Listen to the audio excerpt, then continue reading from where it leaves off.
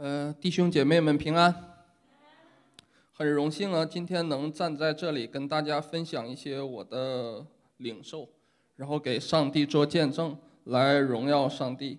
这也是我第一次来这间教会呢，就一直所期待的。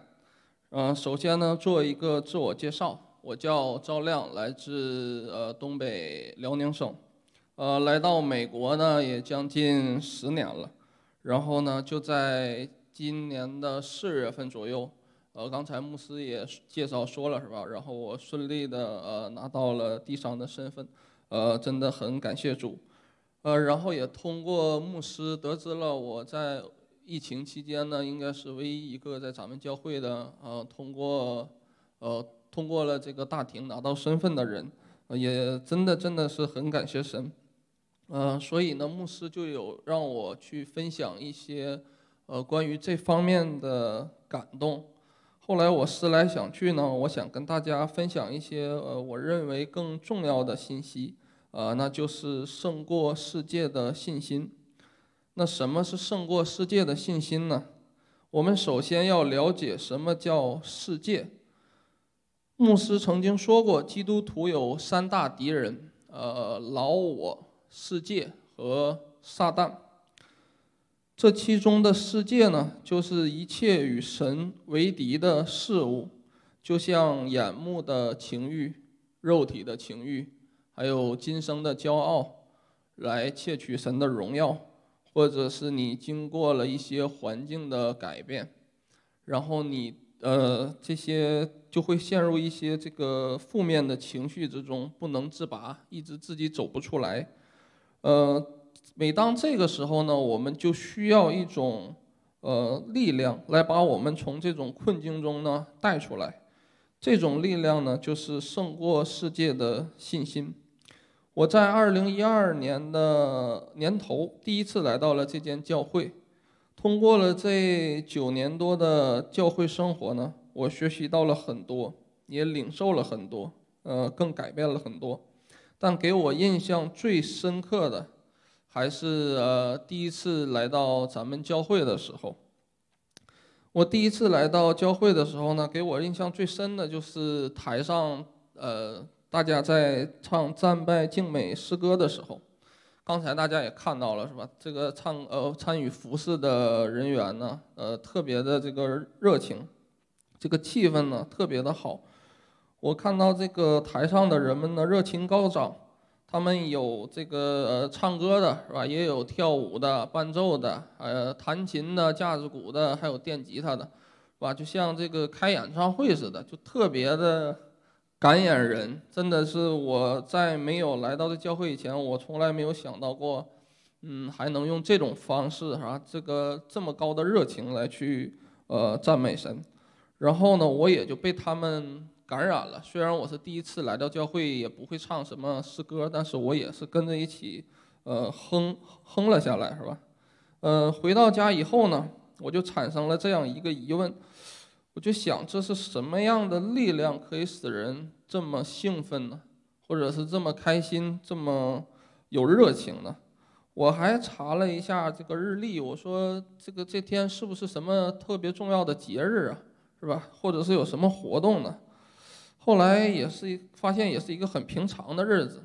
然后在我往后的呃参加这个教会生呃活动当中呢，我发现每次聚会呢，大家也都是这么高的这个呃热情。所以呢，我就一直想找到这个呃问题的答案，但是我又不能直接去问，所以呢，我就先从这个观察入入手。然后呢，我就发现了一个有趣的现象。就是无论牧师、传道，甚至小组长，他们都有一个共同的特质，就是喜乐。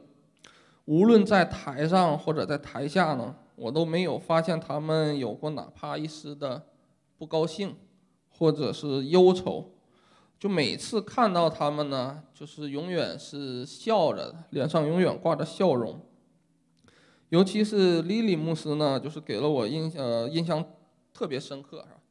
嗯，我见到他的时候，永远是一张笑脸，然后态度特别呃和蔼，呃，从来没见过他有什么愁的、烦心的事儿啊。所以呢，我就更疑惑了，是吧？我就感觉人都是有感情的，喜怒哀乐这很正常。如果能通过一种方法来控制这个感情的，那也是短时间的。但是他们确实是持续了很长一段这样时间，大概有几呃，我观察有几年的时间了，是吧？嗯，我感觉这个就不是说人为的因素，就肯定有更深层次的东西在里面。于是呢，我就把答案呢放在了圣经身上。呃，我也深知也只有神能给我这个答案了。于是呢，我就花了将近三个月的时间，把圣经呢从头到尾读了一遍。读是读完了，但是呃，也感觉到一些什么，但是说不出来具体的原因，因为很多的东西啊，还有更深层次的意义，我还是不明白。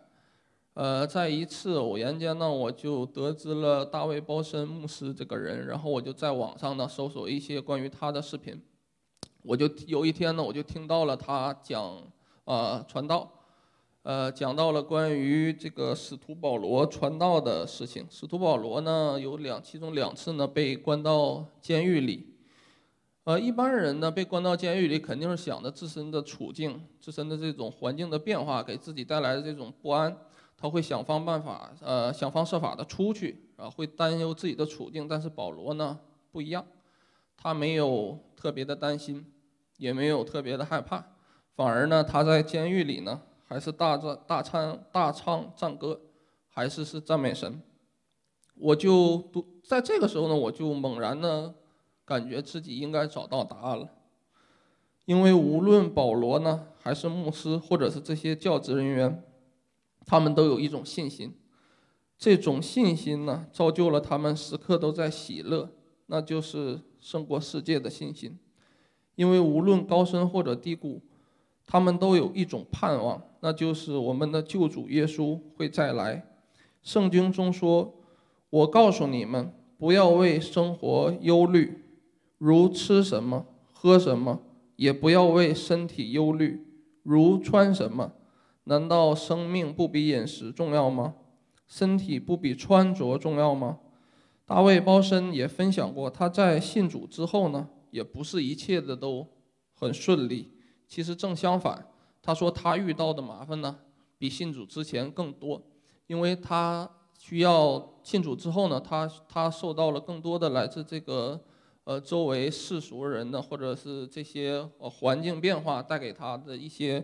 呃，更更更厉害的伤害吧，但是呢，他却更加喜乐了，因为他不再害怕任何环境的改变，他也拥有了这样的信心，而这样的信心呢，就源自于我们对神的信心，就一定要把神把真正的信心扎根扎根在神的身上，而不是环境的身上，因为神是。永恒不变的，但是环境呢却是一直在变的，所以有了这样的信心之后，我们就有了对基督、对神再来的盼望，也就获得了像保罗以及牧师还有其他同工一样的，即使身处再恶劣的环境，也不会害怕，也不会担忧的这样一种胜过世界的信心。最后，但愿所有的弟兄姐妹。都能在神的怜悯中获得这样的力量，这样的一种信心。阿门。